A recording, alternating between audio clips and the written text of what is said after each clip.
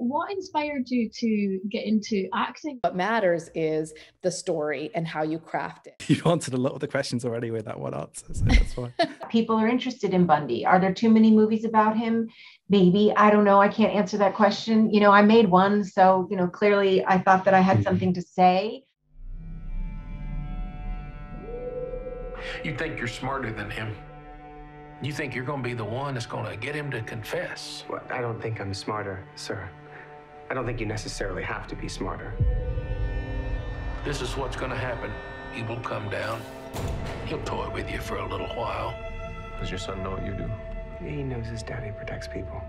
He will cat and mouse with you. He will make you think you are getting somewhere. Let's record and let's get this party started. It is February 13th, 1986. This is Agent Bill Hagmaier. I'm sitting with Theodore. No, Ted. I'm sitting with Ted Bundy. Please subscribe to us on YouTube and follow us on your favourite podcasting platform. Thank you. Welcome to Film Forums. I'm Richard Williams, and today I have a very special guest with me, um, filmmaker Amber Sealey. Um, would you like to introduce yourself briefly? Hi, I'm Amber Sealey. Happy to be here. thanks very much for uh, for joining us. So, could you tell us a little bit about your your filmmaking journey? Um, I understand that you originally were from from England, um, but now based in Los Angeles. Is that right? Yes, I'm originally born in Brighton, but then we left England when I was three, and then I went back to go to drama school. I went to um, I did an, a Shakespeare program at RADA, and then went to Central for my master's and studied theater. And then I started working with a theater company there called Shunt that I don't it no longer is around, but it was um, very cool and really fun to be a part of um, when I was living there. And and a lot of our productions, or we would call them experiences, they were devised theater, and a lot of them involved. Um, some sort of video art and and we would do these cabaret performances um, that often involve video art and i just started getting really interested in that aspect of it as a performer i would often perform alongside of uh, pre-recorded video you know i guess you'd call it performance art uh, films that I had made.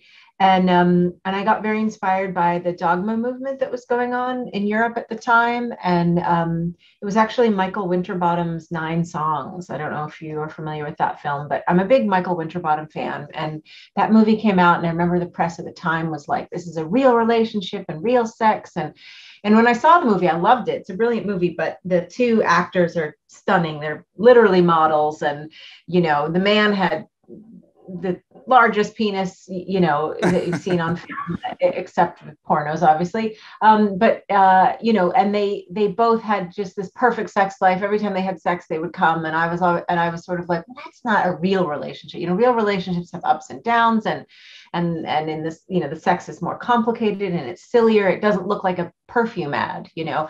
And so i made my first film called a plus d when i was living in london.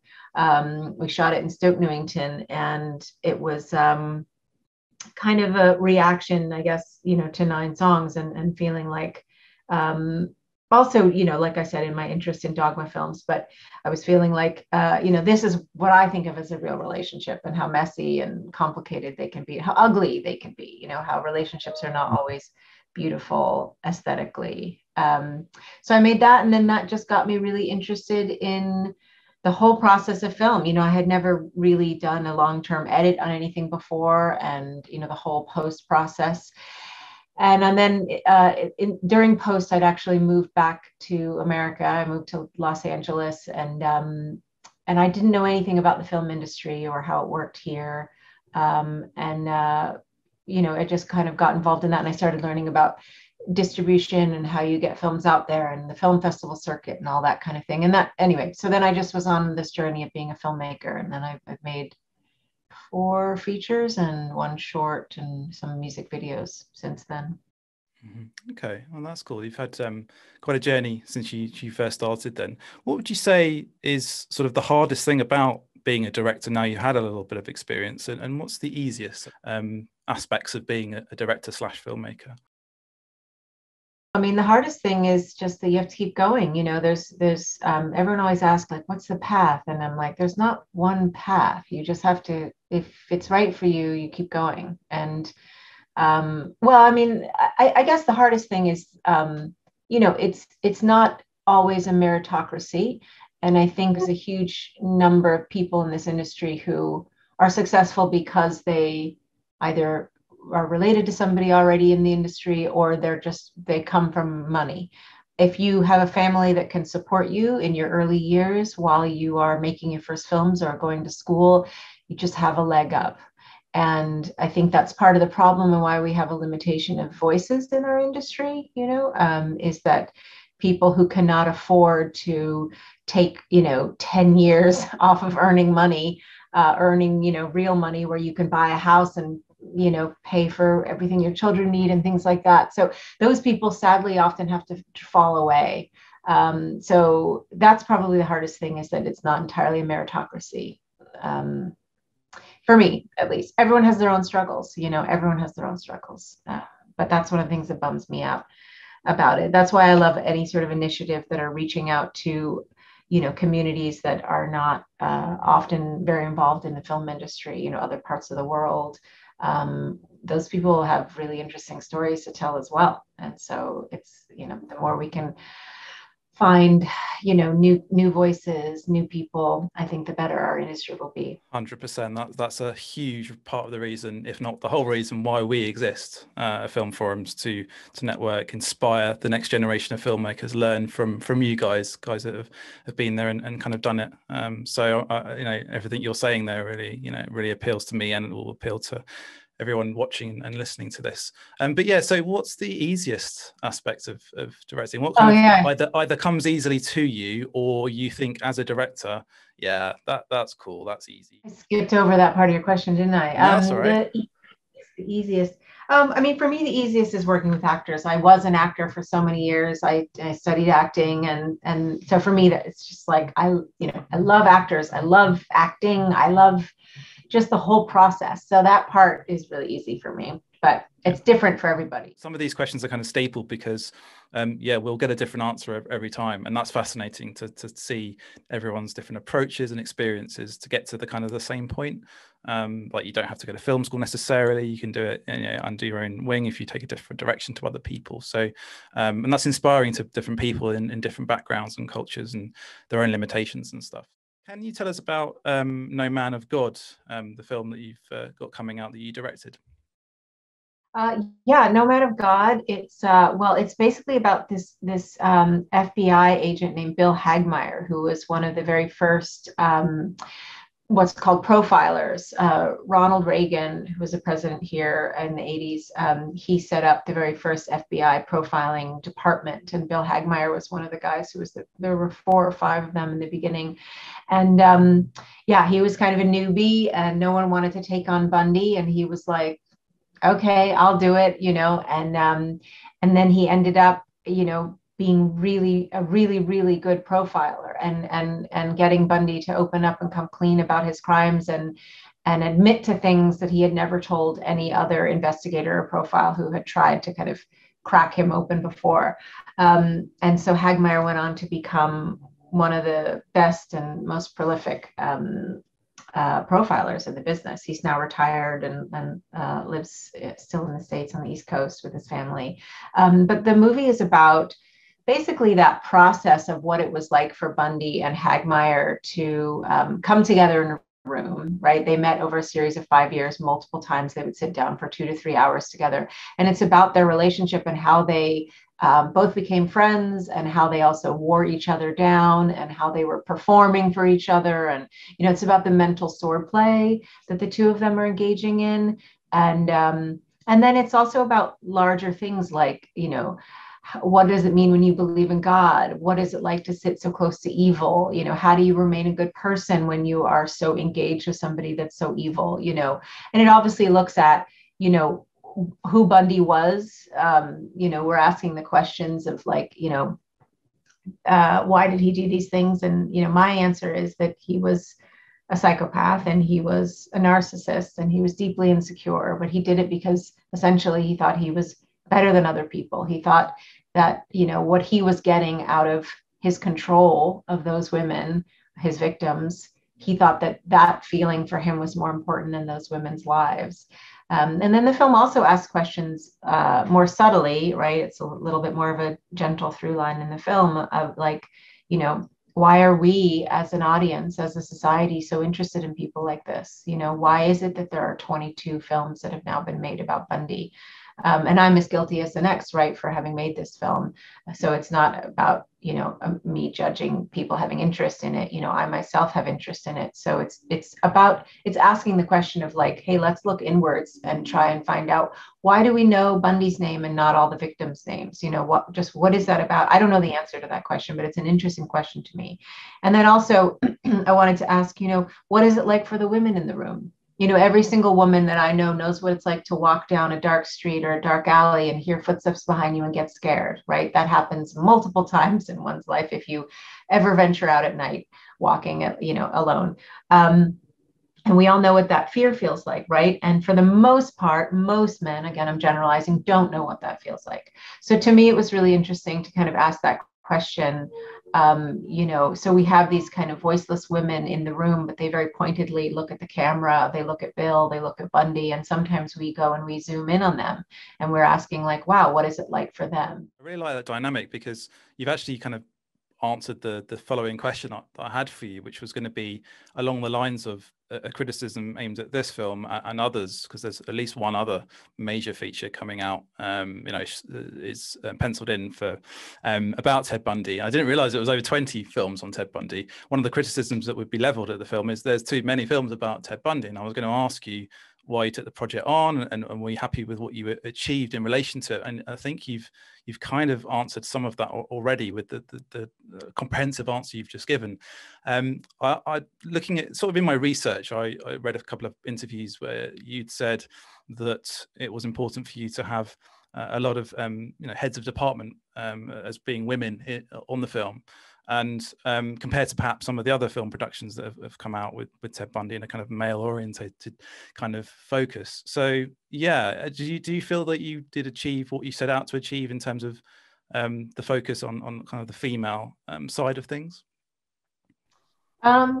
Well, that's a hard question to answer. I mean, I think that probably, you know, it's for others to decide that if achieved it or not. You know, I mean, I'm certainly, I was nervous when the movie first came out, you know, uh, like, are people going to see what we were doing with the women and the victims? And I'm really happy to see that when I talk to people like you, you know, interviewers, that they are asking about that, which makes me sigh a big, you know, really, you know, sigh of relief I'm like, okay, good, you know, it's in the movie enough, you know, because I was always like, is it too subtle? Should we make, you know, so it's nice that it's being picked up on. People are seeing it. Some people have even asked, you know, that the women look like the victims, and uh, they do. We purposefully cast and dress them to look like actual victims. We we tried to, as much as possible, copy uh, outfits that we found of the women online, and that's a you know kind of what is it called Easter egg or something. You know, I think only certain mm-hmm. people will pick that up, but um, that that demonstrates to me a highly respectful approach to what, what are most the most important people in the film, really, the, the victims as well as uh, the FBI um, agent. You know, so that that that demonstrates for me a respectful and detailed approach to to a subject where Ted Bundy himself, uh, as a, a lot of people would agree, is kind of glorified but ultimately he's a psychopath and a serial killer so i think it's great that you've you've uh, gone with that approach. Thank you. Yeah yeah no it was really important to me that we represented the victims in a way that was um, respectful and sort of without like i said i mean they, they weren't in the film so they couldn't have a literal voice but i wanted to give them a, a really important uh, theoretical is not the right word. I'm sorry, I'm terrible at coming up with words, but um, you know that, that they had some sort of gravitas and some sort of importance in the picture um, that uh, that felt weighted and weighty and important and, and emotional without it being saccharine or you know um, cheesy or exploitative. But I feel like I didn't answer your other question about you know it, it is really true that um, you know, yeah, like I said, you know, there's been 22 films now made about Bundy. And to my counting, I could be wrong, but again, I'm the second Bundy uh, female director, um, possibly third. But, um, you know, and I do think it's important, you know, I mean, the, the subject matter is the mutilation of women's bodies, the ending of their lives, you know, and to me, I feel like there's, like we were talking about with the dark alley, you know, that particular fear of your body being taken over like that is a fear that that for the most part again generalizing women know and understand intimately. You know i mean the statistics of one out of every three women will be sexually assaulted in their lives is it's staggering. And so to me that's very much like women's business you know? So um so it's important to me i'm not saying men shouldn't direct films about bundy. They they of course they should but i you know to me it should be equally weighted. You know i want women to be able to weigh in on the conversation because i do feel like you know um, the knowledge of what that feels like to potentially be a victim of something like that feels like a very female um, sadly you know a thing that, that women know quite intimately. So um, but yeah you look i mean at the, at the end of the day also this is a business, you know, and we have to make films that people are interested in. And there's interest in serial killers. And is that right or wrong? I don't know. I think some of it is certainly wrong and some of it is certainly human. You know, it, to me, it's like the rubbernecking when you're driving on the freeway and you see a car accident. I think there's something very human about the interest in other people's pain and other people's you know to a sense in a sense gore. I mean it's awful and it's sad but we also were going like oh my god what happened to that person? You know? And to me there is something good and, and pure about that you know about the interest in in something awful that may have happened to somebody else. It, it's it's it's so it's both bad and good. Like everything is complicated you know? And so um you know yeah people are interested in bundy. Are there too many movies about him? Maybe. I don't know. I can't answer that question. You know i made one so you know clearly i thought that i had mm-hmm. something to say. Um, but i certainly you know when people have the criticism of there being too many bundy movies i i don't i can't they're not wrong you know? Um, uh, yeah i don't i guess i don't know what to say that except like i completely agree and understand and i felt like i had something more to add to the conversation because i felt like what i'm saying in this film you know, and this is not to disparage any other films. I think all the other Bundy films are brilliant, but um, you know, I had something different to say, and I hadn't what I said in No Man of God. I haven't seen that in any of the other Bundy movies. So to me, it was adding a new chapter to the canon of films on Bundy. Um, and whether or not that's enough to justify the making of the entire film, that's not up to me to decide. You know, that's up to the film watching audience as a whole. Yeah, no, that's a great answer, and, and a riposte if you need even need a riposte. So, um, no, well, well put, I, I, think. Can you explain the dynamics on set in relation to Elijah Wood? Um, because he was, as, as far as I understand, an actor and a producer on this. So, how did that kind of work in practice in terms of his involvement? So, what what was he like to work with in those two kind of roles? Elijah is a gem. He's a true gem. He is, yes, he it's his he is a partner in the production company SpectreVision, so he was the producer, but he is so adept at taking off and on the hats when appropriate. So when he needs to be a producer, he's got the producer hat on. When he needs to be an actor, he's got the actor hat on. And he's just been in the business for so long that he know, you know, he knows. So when he was on set, he wasn't a producer at all uh, as far as i saw you know when he was on set he was an actor you know it in uh, when once we started rehearsals through to the end of the last cut you know uh, he was an actor and he was so wonderful i mean he just is like i said he's a real gem he's a real professional he's such a sweetheart and uh, you know uh, you know he would there was what you know that if you've seen the movie, I don't want to give away the kind of climax of the under the water monologue, but you know, there was this thing that I had asked him to do, and he was like, I don't know. And I was like, listen, let's just try it. And if we don't, you know, like it, we, it can end up on the cutting room floor, not a problem, you know. And uh, and he was like, okay, you know, and I was thinking, oh no, is he not going to really go for it? And he, you know, I should have known better. He completely just knocked it out of the park, was amazing. And, you know, and that's all you can really ask of an actor, right? Is to even try things, just for them to try things that they don't think are necessarily right, to still go for it 100%, because they might be right and you might be wrong. Who knows? But, you know, um, but the fact that he was willing to just do it and he didn't put on his producer hat and go, like, no, sorry, I'm going to put my foot down and say, no. He just was like, okay, great, let's do it. And, um, yeah, he's just lovely. He's a real he's a real sweetheart. He's so smart, so kind, so thoughtful, and and, and I just love his face. I mean, eyes. Come on. yeah, it's epic. Um, absolutely. Everyone obviously remembers him from Lord of the Rings, but I think the, the, the career path he's sort of taken after that, kind of the, the, movie choices he's made, especially immediately after Lord of the Rings, I kind of think says quite a lot about him as an actor, similar to DiCaprio. I think didn't always he could have gone through a certain, down a certain path, and, and he and he chose not to, and I think that's quite that's really good and reflects well on him as a, as an actor. SpectreVision, if you look at their their their roster, you know roster again, I don't think that's the right word there either, but they have such interesting, weird, you know, movies, and I think that's just a testament to who Elijah and the other you know company members are that they you know they're they're true filmmakers and they love film and they're not it's not about fame or you know any of that stuff for them it's it's about like what is interesting and what is cool and like and going down that road. And um and i think that that's really who elijah is you know he's just an mm-hmm. interesting person. Yeah. And what i just wanted to narrow down on um if that's okay is in terms of um being a sort of producer. So what for those who literally don't know who are just thinking about embarking on a career in, in the film industry what um, was his role practically speaking as a producer on the film. So acting's all kind of obvious, although there's there's nuances and, and, and things and complications for that. But in terms of him being a producer, what did he bring um, to, to, that? Literally, what what did he do? What are the practicalities of, of him being a producer on that film? Well, if I can back up a little bit first, the first thing is is that producer is almost the most confusing thing I think for people in the film industry because it, it's almost anything and everything. There are so many different kinds of producers, and even just like the title producer right? There's there's creative producers, there's financial producers, there are line producers, UPMs, you know, there's there are so many different kinds of skills that are involved in being a producer. Um, and and some people are good at only some of those things some people are good at all of those things um, but it's really important to know the different things that if you're if you're the director or the writer or the actor even it's really important to know what are the different kinds of producers because they're all going to be called a producer and you're going to be like oh they're a producer. But it's really important to know like what is it that they do and they focus on.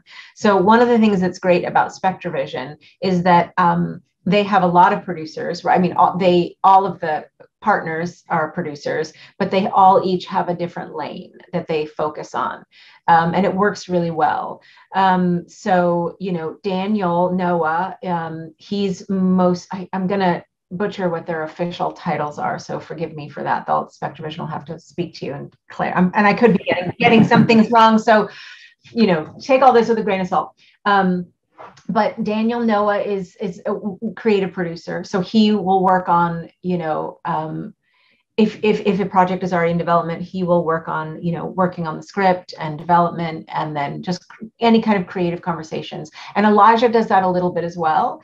Um, and and I I think Elijah's more of the larger, like sort of vision for for SpectreVision. So he's more involved in.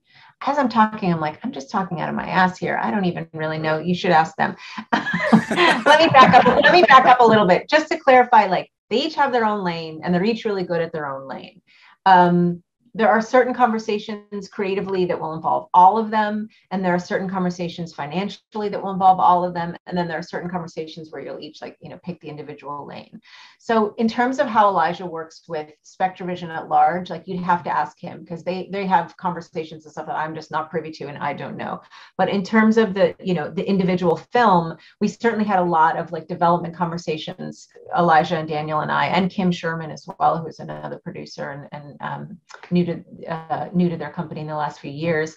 Um, and and like I said, though, then you know, once we got into production, Elijah's producer hat really came off, and then he became an actor. And then once we were in post, you know, his producer hat came back on. He loves to be really involved in music. You know, he's really uh, he's a DJ as well, and he really knows a lot about music. And so that part was really important to him, and also to Daniel um, important thing to know is like you have to understand what what you're if you're the director and you're bringing on a producer you have to understand what is it that you need and then find somebody who has those particular skills. A lot of people say they're producers, but are they people who are good at fundraising and connecting you to financiers, or are they people that are going to want to like work on the script with you and and develop the story? And you need to ask those specific questions when you're meeting them. You know, do you see yourself as a creative producer? Because if your thing is like, oh, I just need someone who's going to like help hire the crew, help organize the shoot, and help find financing, that's very different most producers want to be creatively involved in the story so it's really important to ask them that question. Um, and that's different from when you know what i'm talking about with spectrevision and stu- you know the studios and spectrevision and large production companies they have already figured out their system and they know what they do and who does what. But when you're starting out i think it's often confusing what producers do and who does what. And i think it's very easy to hire a producer who you think will help you find financing and they think essentially they're also a director. So it's important to uh, in inexperienced producers um, sometimes themselves don't know what a producer is supposed to do. So it's incumbent upon you as the as the director and also as a producer when you're starting out you will be producing um, to, to kind of understand what the different kinds of producing are and find people that serve the things that you need. But none of this applies to spectrevision or you know Understood. Thank you for that. I appreciate no, I appreciate you adding that onto the the answer. Um, what one in, in, sort of one or two lines, what advice would you give to uh, aspiring filmmakers in terms of the experience that you've accumulated to this point? So, kind of maybe what one thing do you wish you'd known, perhaps, um, when you started out in filmmaking? There isn't anything. That's the thing. There isn't anything. There isn't one path. There isn't one way. You know, uh, just be yourself. Surround yourself with uh, good friends and family if you have it, and try to have a good quality of life. And uh, don't be a dick. oh, that's a great way to end, end the interview. Um, I'm glad we managed to smuggle that soundbite in at the end there. So, um, on that note, um, thank you for being a fabulous guest. Thank I really, you. really appreciate it, and I really look forward to putting this out there. Um, thank you so much. Yeah, great speaking with you. Thank you. Please subscribe to us on YouTube and follow us on your favorite podcasting platform. Thank you.